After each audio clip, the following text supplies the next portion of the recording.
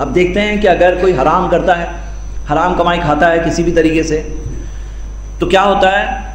अल्लाह के रसूल मोहम्मद सल्लल्लाहु अलैहि वसल्लम ने फरमाया, कुल्लु जसदिन, हर वो गोश न बता मिन सुहती, जो हराम कमाई खा के बना।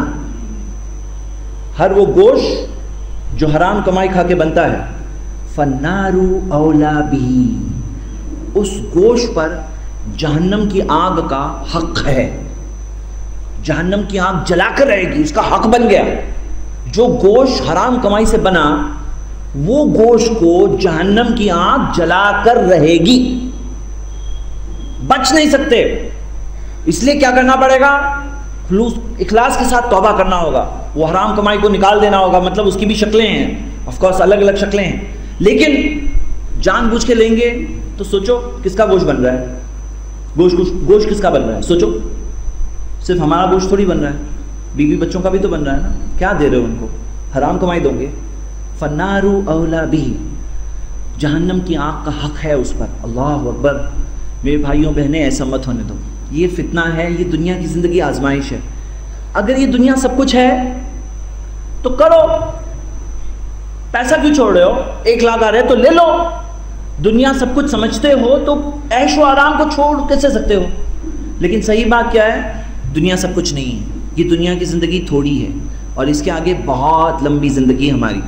मरने के बाद हमें अल्लाह के सामने खड़े होना है और क़यामत के दिन के पाँच सवाल हैं। सुनत तिरमिदी की सही हदीस। उसके अंदर पहला और दूसरा सवाल, तीसरा और चौथा सवाल है वो माल ही मीन तसबहू पैसा कहाँ से कमाए? वो फीमा अनफ़ाऊ कहाँ खर्च किए? आदमी बोलते हैं, मेरा पैसा है, मैं जैसा चाहे खर्च करूँ। कहाँ खर्च किए? जवाब देना पड़ेगा। ऑडिटिंग होने वाली। पैसा कहाँ से कमाए? जवाब देना पड़ेगा। क़यामत के दिन ही जवाब देना पड़ेगा। कहाँ से कमाए? सब इंफॉर्मेशन बाहर निकलेगी। अला रूसिल खलाइट सारे इंसानों के सामने। तो मेरे भाइयों, बहनों, समझ लो, ये दुनिया की ज़िंदगी इम्तिहान है, यही असल बात है ना? अगर ऐसा नहीं होता ना तो जो करना है करो। कर रहे हैं ना लोग? अपना मज़हब बना के रखा है पैसा। कितने सारे लोग हैं, इबादत करते हैं। उनके लिए पैसा सब कुछ है। पैसा आ गया, बस आना चाहिए। अल्लाह के रसूल मोहम्मद ने फरमाया, याति अलनासी जमान। इंसानों पे एक ऐसा ज़माना आने वाला है, मा युबाल रजुल, जिसमें एक इंसान फ़िक्र नहीं करेगा।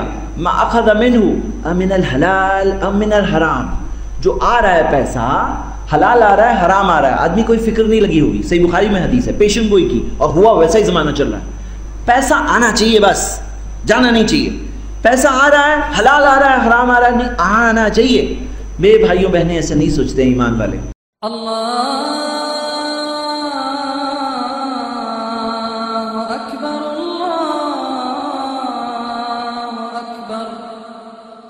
अल्लाह